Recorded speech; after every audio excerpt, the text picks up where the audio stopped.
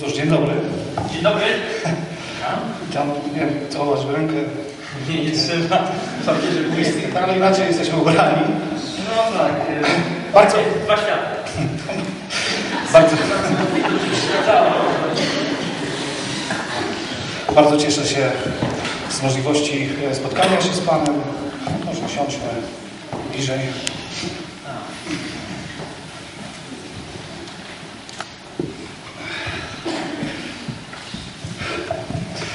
Cieszę się bardzo, bo jest Pan bardzo, ale to bardzo sławną osobą. O, wystarczy wpisać w Google'ach, wystarczy wpisać w Google'ach e, Pana dane i kilkanaście milionów odnośników e, na fejsie, setki lajków na naszej klasie. Przepraszam, fejsie, lajku, y, blogach, nie, goglach, tak? Ja nie wiem, co to znaczy. Może pan mi wiedzieć? Jak to, no, a kto prowadzi te konta wszystkie? E, Konta w sieci. Sieci, sieci internetowe. To nie, to nie ja, ale się na tym nie znam. Ludzi od PR, którzy są odpowiedzialni za, za promocję mojej publicystyki. Rozumiem, czyli na maksa, po prostu na maksa, PR swoje, wszystko. No ale zanim y, o pańskiej twórczości, to porozmawiajmy o pana pasji. Nie powiem, to bardzo lubię też, y, co pana jest pasją, a więc podróże. Jak pan sądzi, to jest moja pas pasja, podróże? Zajrzyjmy do Google.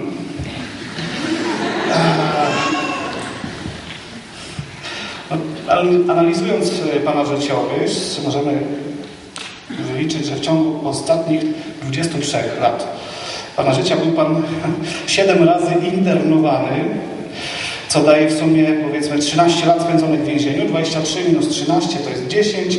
Przez 10 lat zrobił Pan kilkanaście tysięcy kilometrów. Głównie na nogach. Ewidentnie widać, że no to jest Pana pasja. No jak można e, tyle kilometrów zrobić? E, no, bo, no bo chyba nie jest pasją siedzenie w więzieniu. E, Wie pan, skoro już pan się odnosi do tego, że tych kilkanaście tysięcy kilometrów to jest prawdą, zrobiłem głównie na nogach, to może by lepiej było nazwać tą pasją, skorzystaniu przy pana w określeniu bardziej pielgrzymowaniem niż podróżowaniem. Zgodzi się pan? No dobrze, pielgrzymowanie. A więc Panie Makłowicz, e, e, przepraszam, e, Cejrowski, nie? Proszę mi wybaczyć, ale... Proszę, proszę po prostu mówić panie Pawle. Wystarczy, że będzie pan mnie nazywał. No, no tak, to jest pewien problem, bo właśnie tutaj zaglądam też w ściągawkę i wszędzie y, posługują się wszyscy y, pana y, pseudonimem, nie ma nigdzie prawdziwego nazwiska, tylko ten pseudonim artystyczny. E, To prawda, prawda. Niech tak zostanie, przez tyle lat nikomu to nie przeszkadzało. Proszę, panie Pawle. Okej, zatem panie Pawle, Marcin, miło.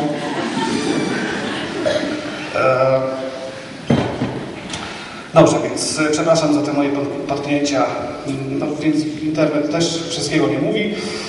E, gdzie Pan dotarł w swoich podróżach, pielgrzymkach? Tak, no więc no, Jerozolima, pielgrzymka.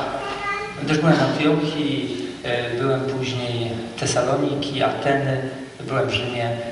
Sporo też zaliczyłem wysp na Morzu Śródziemnym.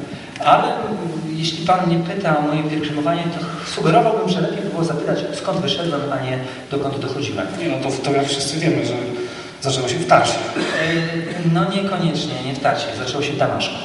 Mm. Ale urodził się Pan e, w Cylicji, w mieście Tars, tak? Mm, To znaczy pierwszy raz się urodziłem w Tarsie, drugi raz się urodziłem w Damaszku.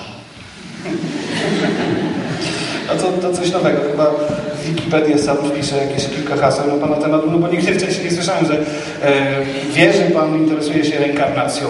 No, nie, nie, nie, spokojnie, spokojnie, nie interesuję się reinkarnacją, tylko widzi Pan, bardziej nie chodzi w moim przypadku o reinkarnację, tylko o resuscytację albo o reaktywację. Pan? Tak bym to nazwał. Co Pan chce przez to powiedzieć, bo to są znane terminy, a jednak nic nie mówię. A pan, to prawda, że urodziłem się, urodziłem się w Tarsie. Urodziłem się w Tarsie, a tak naprawdę moje narodziny prawdziwe były w Damaszku. E, ta resuscytacja, ponowne powołanie do życia, od rezurekcji z łaciny, nie wiem czy Pan e, studiował łacinę, czy też, e, czy też reaktywacja w naszym polskim języku, to coś, pokazanie czegoś na powrót. Tak, na powrót zacząłem żyć dopiero od Damaszku, tak naprawdę zacząłem żyć dopiero od Damaszku i, i gdy chodzi o reaktywację, użyłem tego słowa, ponieważ wcześniej byłem bardzo aktywny, zacząłem, coś się zmieniło w moim życiu i zacząłem być aktywny inaczej. Nie kochać. Nie, kochać też zacząłem inaczej. Najlepsze tego słowa znaczenie.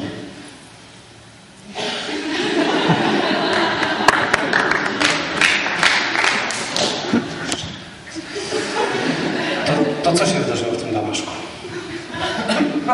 Historia, mówiąc najkrócej. Ja myślę, że ci, którzy znają moją publicystykę i mój pseudonim artystyczny, na pewno czytali nie, jeden, nie jedną moją e, nowelkę, e, nie jeden mój, mój utwór. E, Jak pan wygoogluje sobie taki utwór Hymn miłości, to podobno tam jest najwięcej wejść, gdy chodzi o poezję starożytną. Ale wie pan, tak naprawdę w Damaszku wydarzyło się coś, co absolutnie zmieniło moje życie. Spotkałem człowieka, którego nie sądziłem, że kiedykolwiek prześladowałem, ale on mi to powiedział prosto w oczy. Tylko wie Pan, nieraz w życiu zdarzyło się pewnie i Panu i każdemu z nas zrobić komuś jakąś krzywdę. Pierwszy raz człowiek, który twierdził, że robiłem mu krzywdę, mówiąc mi o tym, nie czułem w jego głosie i w jego spojrzeniu e, e, żadnej jakiejś nienawiści, nie czułem żadnej jakiejś wyższości, ani też chęci zemsty. Y, Byłem totalnie zszokowany. Tak pod Damaszkiem spotkałem tego, o którym myślałem, że jest prawdziwie martwy i, i, i który był niebezpieczny dla mojej religii, religii moich ojców, ponieważ wywracał wszystko do góry nogami. Niby wierzył w tego samego Boga, ale mm, mówił o nim tak, jakby był jego ojcem. To mnie przerażało. Bóg, y, Bóg jest Bogiem, ja jestem człowiekiem. Jak można powiedzieć do Boga tak się współchwalić? Bóg jest święty, jestem grzesznikiem. Jak można sobie tak przed Bogiem stawać i mną się modlić bez pośrednika kapłana, bez, e, bez setek ofiar, z kozłów, z gołębi, synagorlic? To było dla mnie szokujące. On po prostu tak przyszedł i, i mówił o czymś, co już słyszałem trochę od jego wyznawców, wyznawców tej drogi.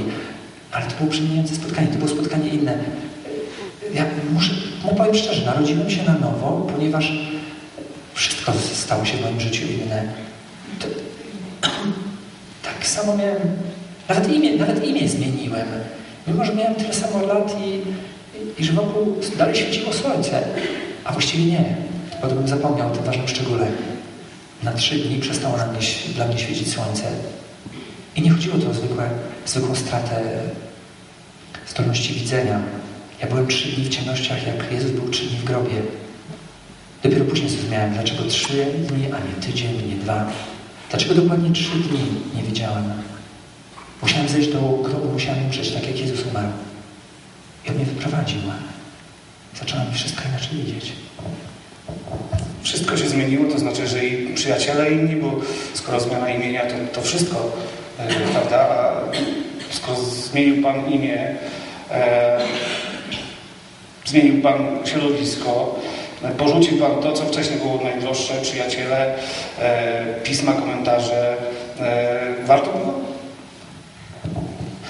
Czy warto było? Ja, ja, nie, ja nie porzuciłem moich starych przyjaciół, to oni mnie odrzucili. Oni mnie nie zaakceptowali takim, jakim byłem. Oni nie zaakceptowali mojej wiary, nie zaakceptowali mojego nowego myślenia. Wie Pan, od tamtego dnia odkrywam, spotykam wielu ludzi, którzy tak jak ja wierzą w mistrza z Galilei, w tego cieśle z Nazaretu i mówią, że oni coś takiego przeżyli sam podobnego. To mnie, wie Pan, to mnie przekonywało, że warto było. Jeden z powodów.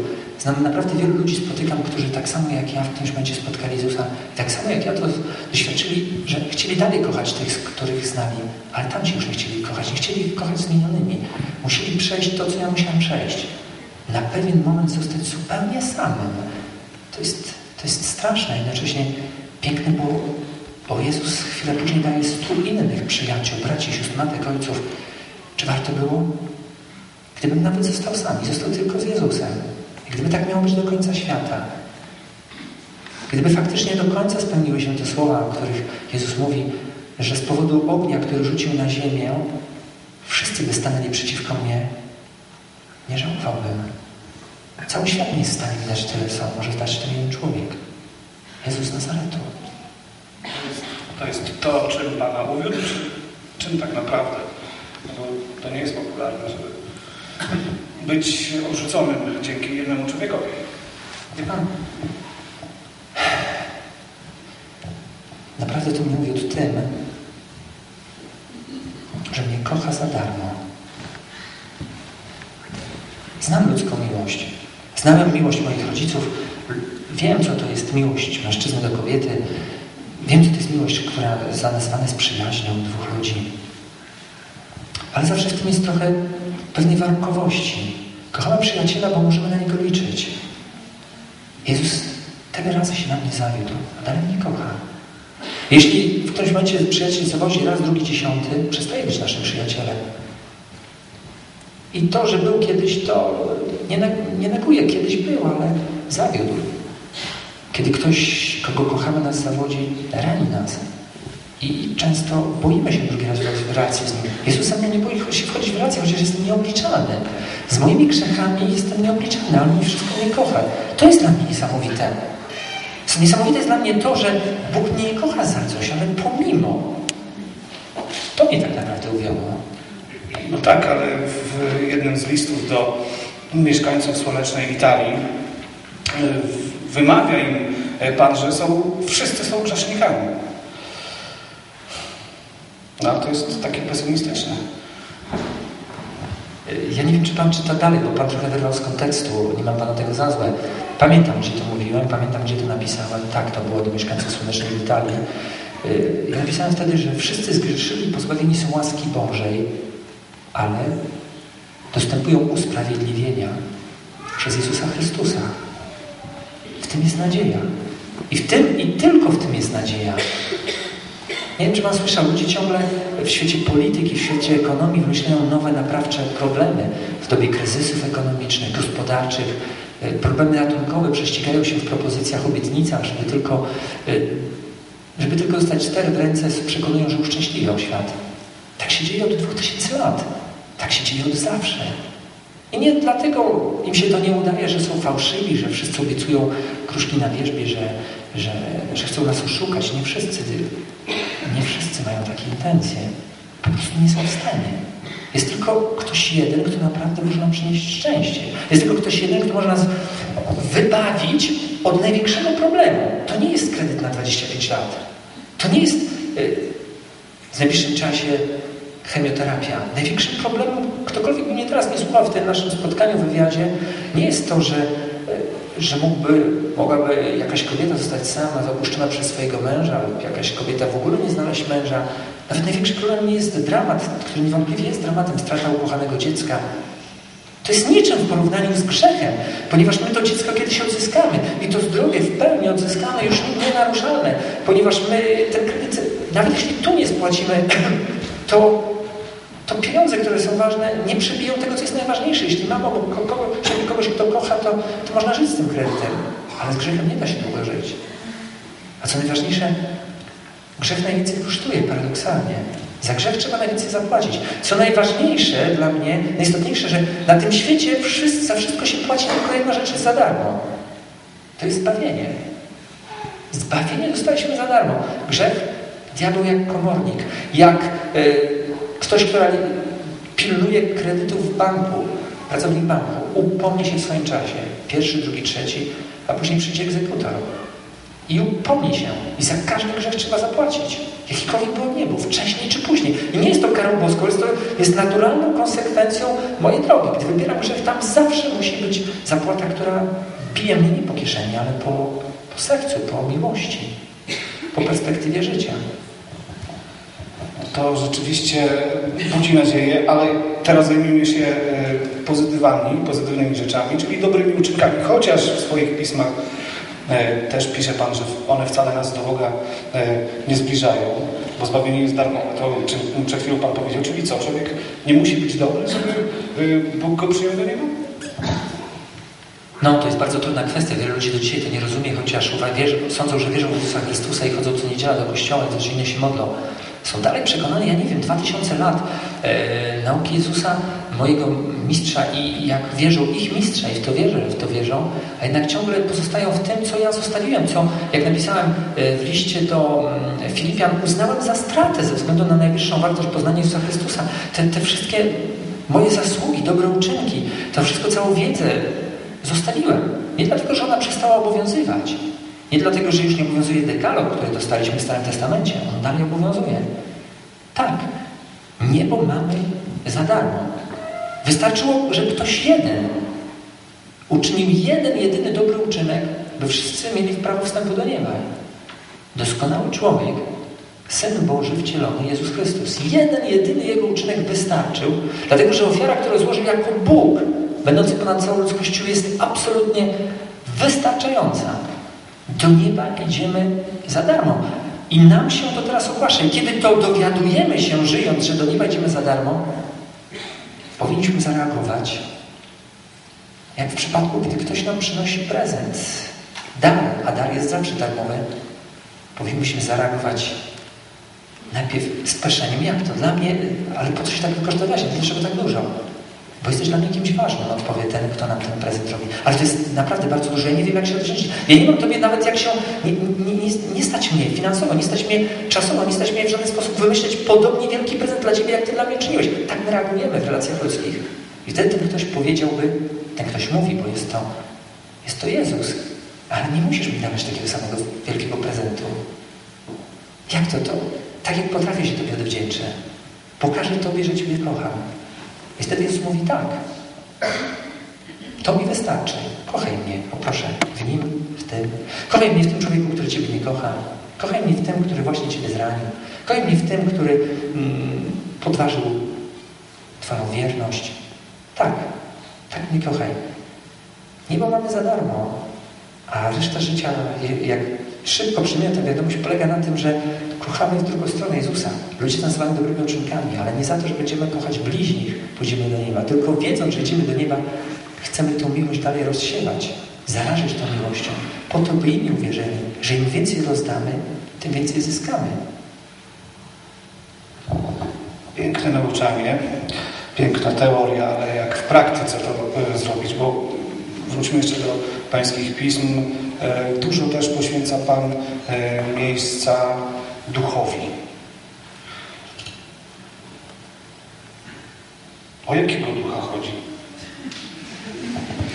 Z całą pewnością Pana pytanie nie jest tak do końca śmieszne, bo duch, który jest pokazany w Księdze Rodzaju w Starym Prawie, a duch, który jest pokazany w nauce tego, w którego wierzę, może pozornie wydawać się dwoma kimś innym, jakby dwie różne osoby.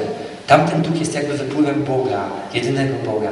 Tu raptem e, mówię w nauce to, co mi objawił Jezus i co jest w tym e, depozycie apostołów, że Bóg jest w trzech osobach i duch nie jest Bogiem Ojcem, ale jest różny od Ojca i od Jezusa jest im równy. E, jest im równy i różny. To nie jest jedna osoba, która na różny sposób się przedstawia. Personalizuje, materializuje. To są trzy różne osoby. Duch i rolą Ducha Świętego, jak Pan mnie pyta, jest, byśmy otworzyli się, byśmy dzięki niemu doświadczyli spotkania z Jezusem. Nie mamy dzisiaj możliwości spotkać tak Jezusa w ciele, jak go spotkali apostołowie. Ale dzięki Duchowi Świętemu spotykamy Go w Kościele. Dzięki Kościołowi, dzięki Duchowi Świętemu spotkamy Jezusa przez sakramenty, przez Eucharystię. Spotykamy tego spotkania, mimo że kapłan, który siedzi może dwa dni temu e, jakiś grzech cięższy od mojego, ale przez niego działa Duch Święty. Może ten biskup, który mnie bierzmuje trzy dni temu jechał po pijanemu, ale przez niego działa Duch Boży. To jest duch, który jest obecny zawsze i wszędzie. Ten duch, który sprawia, że w nim i tylko w nim mogę zabrać Abba Ojcze i tylko dzięki niemu powiem, że Jezus jest Panem, prawdziwie powiem. Bo wiem, że ateista też potrafi to zdanie literalnie powtórzyć. To jest ten duch, który mi daje rozróżnienie co jest dobre, a co jest złe, które mi daje wytrwałość w dobrem, które mi daje zrozumienie nauki Jezusa Chrystusa i nauki Kościoła, wtedy, kiedy mój intelekt wysiada w kwestii antykoncepcji, aborcji, eutanazji, kiedy wszystkiego nie muszę wiedzieć i nie jestem w stanie wszystkiego zgłębić. Ten duch mi mówi, zaufaj. I ten duch mi daje łaskę i siłę, bym ufał. To jest teraz jasne, ten duch też daje e, siłę, żeby kochać Jezusa w drugim człowieku. Absolutnie. To, to On w nas, nas czyni dziećmi Bożymi, a jeżeli mam tak wspaniałego tatę, to w drugim człowieku odkryłam, że to jest mój brat, moja siostra, bo oni nawet jeśli dzisiaj nie żyją tak, jak Bóg Ojciec by chciał, też są Jego dziećmi. Pozwoli Pan, że sięgnę znowu do e, internetu. E, wspominałem wcześniej, że miał Pan 7 wyroków skazujących. Siedział Pan łącznie 13 lat e, za kratkami. Ale nie wspomniałem e, o kamienowaniu ośmiu karach biczowania, czy nie miał Pan chwili zwątpienia, nie narodziły się w głowie pytania typu może nie warto, albo może to ja się mylę? Może mi się przewidziało pod tym damaszkiem? No jakby Pan pokazał moje plecy, to jak pumeks. Albo szczotka ryżowa. Rana na ranie się goi. Nie goi. Czy nie miałem chwili zwątpienia? Pyta Pan. Takie było pytanie?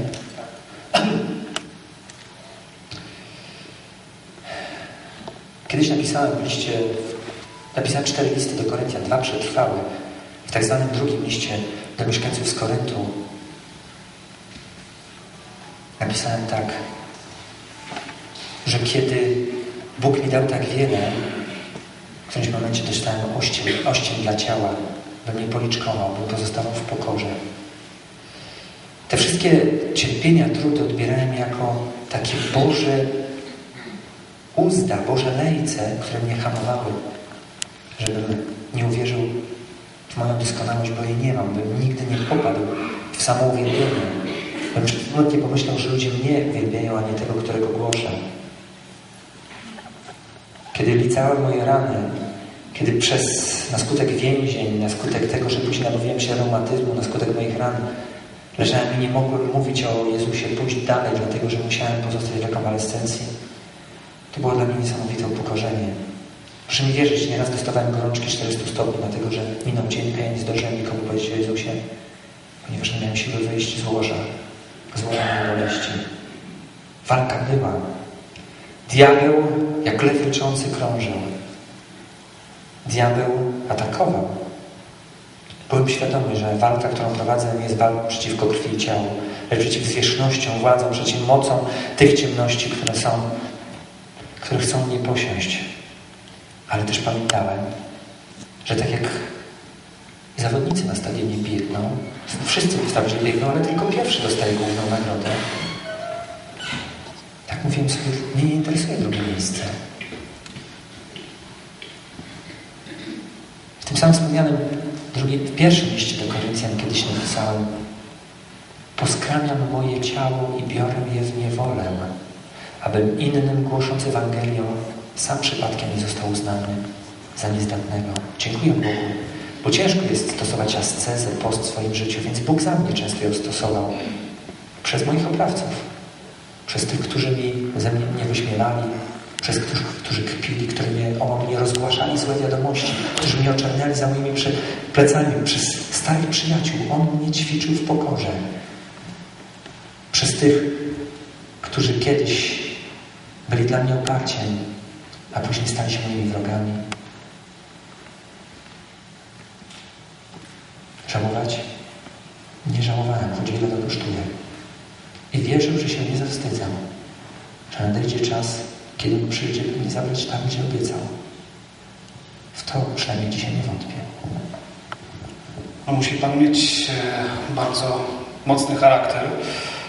Przypomina mi się też z Pańskiej historii e, sytuacja, kiedy no, ostro wystąpił Pan przeciw swoim przełożonym, e, jeżeli chodzi o e, zachowanie starego prawa. A, no tak, ten słynny sport już Pan też to doczytał? Tak, to było z Piotrem. Mhm. No tak, no, Piotr był najważniejszy obok Jakuba. Jakub Jerozolima, Piotr dostał w ogóle klucze i miał wszystkim rządzić. I, I czuliśmy, że on jest naszym zwierzchnikiem.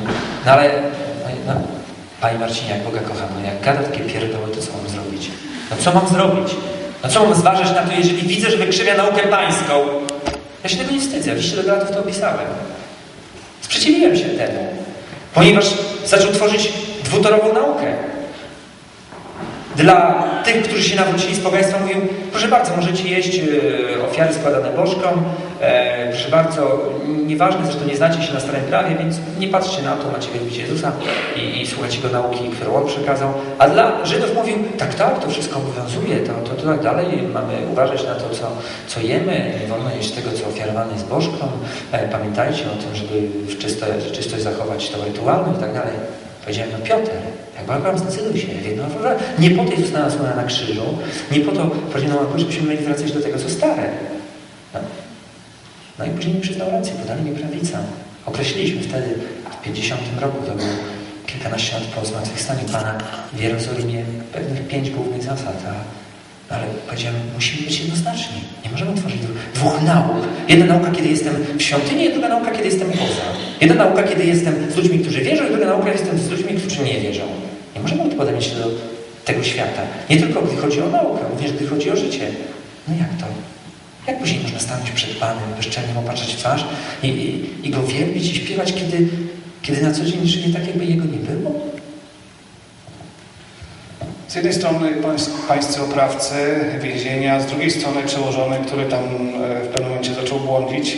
Skąd, skąd Pan miał e, siłę, skąd Pan czerpał tą siłę, żeby e, no, być trwałym, wytrwać ze swoimi przekonaniami? No, ja tylko powtórzę, mój przełożony Piotr nie błądził. To, była, to, to wszystko się wtedy kształtowało. Myśmy, myśmy wspólnie próbowali zrozumieć, co chciał powiedzieć nasz Pan. Ale skąd miałem siłę, by być pewnym swego? Tak, kiedy, kiedy ciągle były przeciwności, kiedy non-stop wiatr był w oczy. Tak sobie czasami myślałem, Boże, Gdyby chodziło o sprawę ludzką, wróciłbym się napięcie i powiedział, nie, to nie. Gdyby posłał mnie drugi człowiek i powiedział, masz to, tę sprawę załatwić, w stylu przeciwieństwie powiedziałbym, ja rezygnuję z tej pracy, ja rezygnuję z tej misji, z tego posłania. Ja, ja, ja, ja się biorę wymówienie, ja zrywam umowę. Ale przecież tu posyłał mnie Bóg, on wiedział. Mało tego. Wiesz, wie Pan, co mi dawało siłę? Patrzyłem na Jego, który mnie posyła. On, będąc posłany, miał ciągle pod górkę. Nie tylko pod górkę znaną Golgota. Nikt na niego nie czekał, kiedy przyszedł. Spontanicznie kilku pastuszków. Od początku gdzieś tam się telepał w torbie podróżnej tyle kilometrów do Egiptu. Tam też na niego nie czekali z piramidami, z objazdową wycieczką do Hurgaty. Cały czas problemy. Później powrót, później to, co się ten król, który zamiast się cieszyć, że ma jeszcze większego od siebie, on się bał i, i Bóg Ojciec tego nie załatwi. Miał takie skąpe środki, żadnych kamer, żadnych mass mediów i nawet w tych drobnych środkach ludzie nie przychodzili do Niego, odchodzili, chcieli obwołać Go królem, kiedy to nie było taktowne na miejscu, patrzyli na Niego tylko na rewolucjonistę politycznego. Skoro Jemu Bóg Ojciec nie oszczędził i skoro On wydaje się na pozór, pozornie, że był człowiekiem przegranym, wygrał wszystko, no to się zgadzam na tę logikę. Wierzę, że ona zadziała. Widzę już błogosławieństwo, choć jest to trudne. Ale wierzę, że będąc konsekwentnym, to mnie trzyma. To mnie trzyma każdego poranka. Ponieważ każdego poranka rozmawiam z nim, spotykam się z nim. On mi daje siłę, on mnie upewnia, jego spojrzenie czasami wystarczy. Nie zawsze mam ochotę czy siły, by sklepcić jakąś piękną, porywającą modlitwę. To padają mnie też chwile, w których mam oschłości duchowe. A wtedy tylko patrzę na Niego, na ten znak, który mi zostawił, znak zbawienia, krzyż. Można tak e, gadać i gadać do wieczora, a nawet e, do rana, bo niesamowite dary Ducha Świętego widać w Panu i wymowy, i mądrości, ale na nasz czas niestety dobiega końca. To może na koniec e, jakieś dobre słowa albo życzenia dla tych wszystkich, którzy przysłuchują się tej rozmowie. Chyba spotykamy się właściwie w przededniu ważnej uroczystości, uroczystości wszystkich świętych. Bardzo mi się podobała ta pantomima, miałem okazję ją tutaj widzieć pierwszy raz. Mamy w sercu ustawiony GPS na niebo. W sercu, od zawsze. To nie tak, że musimy pójść do sklepu go kupić, później wysterować w jakieś sterowniki i później jeszcze uchwyt, żeby to umieścić w samochodzie czy gdziekolwiek. Nie musimy nauczyć się tego obsługiwać. Wszystko mamy zagotowane w sercu. Jak, jak słuchać, bo Duch Święty nas od razu instruuje. Droga do świętości. Czego ja żebym życzył słuchaczom przededniu uroczystości wszystkich świętych? Życzyłbym, życzyłbym tęsknoty za świętością i przyznawania się, że za tym tęsknią.